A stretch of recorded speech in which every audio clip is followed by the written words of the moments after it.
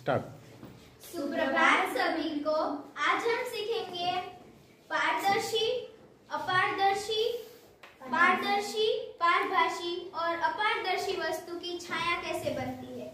हम एक टॉर्च, एक पारदर्शी वस्तु, एक पारभाषी वस्तु और एक अपारदर्शी वस्तु का उपयोग करेंगे।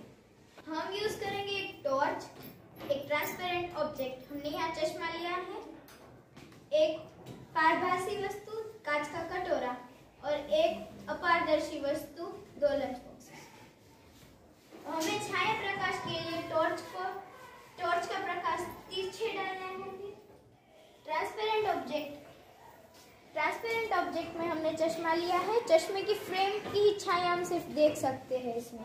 चश्मे का कांच ट्रांसपेरेंट है, उसकी छाया हम नहीं देख सकते हैं। फिर अभी सिर्फ़ फ्रेम की छाया दिख रही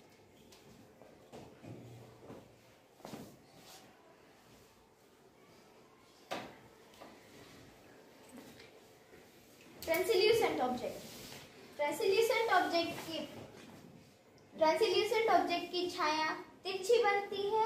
उसे हम देख सकते हैं लेकिन इतने अच्छे से नहीं जितनी अपारदर्शी वस्तु की छाया बनती है। थोड़ी सी हल्की और बनती है। जितनी अपारदर्शी की बनती है उतनी पारदर्शी वस्तु की छाया नहीं बनती है। यस अपारदर्शी वस्तु ओपेकी ऑब्जेक्ट्स अपारदर्शी वस्तु की छाया पारभाषी एवं पारदर्शी वस्तु से ज़्यादा ही इसकी छाया डार्क बनती है, जितनी ट्रांसल्यूसेंट और ट्रांसपेरेंट की बनती है, उससे कहीं ज़्यादा ओपेकी ऑब्जेक्ट्स की छाया बनती है। ओपेकी ऑब्जेक्ट की छाया इतनी डार्क इसलिए बनती है क्योंकि हम उसके आर पार नहीं देख सकते हैं और आर पार नहीं देखने के वजह तो इस एक्टिविटी से हम समझ सकते हैं कि पारदर्शी वस्तु से प्रकाश पूरी तरह से उस पार जा सकता है इसलिए हम उसकी छाया नहीं देख सकते हैं।